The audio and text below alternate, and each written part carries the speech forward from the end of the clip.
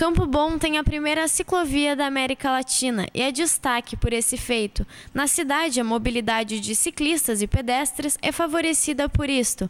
No último sábado, mais dois quilômetros de extensão foram inaugurados na Avenida dos Municípios. E a novidade deste percurso se dá pela natureza. O projeto foi realizado para que em anos o trecho esteja coberto por um túnel verde. As árvores escolhidas foram as flamboyantes, nativas da ilha de Madagascar e da África tropical. Elas contabilizam 300 no local. Seu crescimento é relativamente rápido e tem em sua copa longa uma das floradas consideradas mais lindas do mundo.